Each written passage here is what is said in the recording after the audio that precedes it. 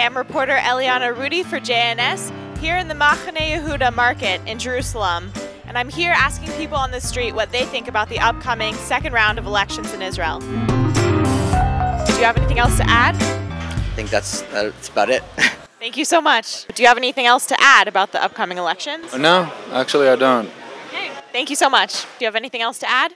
Not really. Just I hope that uh, some final decision is made on the election and that something positive will come out of it and there will be a government formed without the necessity for a third election, which I don't believe that that there will be. Thank you so much. Any other thoughts that you have on the elections? No, thank you. Okay, thank you so much. Do you have anything else that you want to add about the No, what else do you want to know?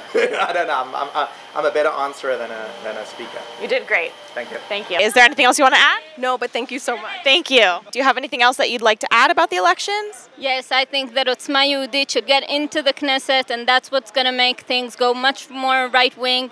And I want to vote for them, if bichlal, and if I don't vote for them, and if they don't get into the Memshala, all these elections are not worth anything because not anybody won't be really right wing without them.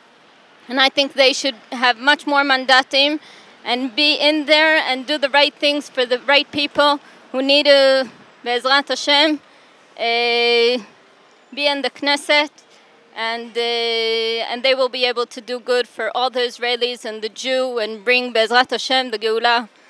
Not that they're Elohim, no, Barur, but I think that things uh, will become much better when people like Itamar Ben Gvir and Baruch Marzel that uh, care so much, and Gopstein that care so much for the Israeli women's that are in Arab hands and all over and will fight for the Israeli needs that really need to be done.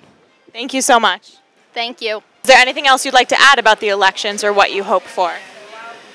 Um, yeah, well, like the the ideal scenario will be that the coalition, like the main parties in, uh, in the opposition, sorry, the main parties in the opposition will will embrace the Arab uh, parties because this is the only way they will manage to form a coalition. Without the Arab party, and Ayman Odeh said that he will uh, he will join a coalition without uh, Netanyahu, a left-wing coalition. So, if they will embrace the Arab parties, so this is the only way that they can form a coalition. If not, so it will be another uh, government, like right-wing government.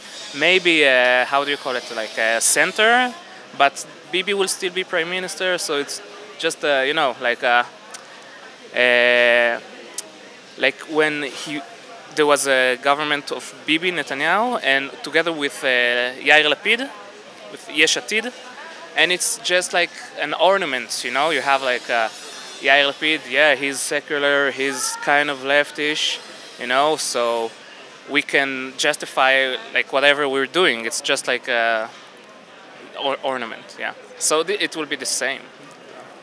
Thank you. Anything else? And no, that's it. Thank you so much. Was there anything else you'd like to add about the election? No. No. okay, thank you.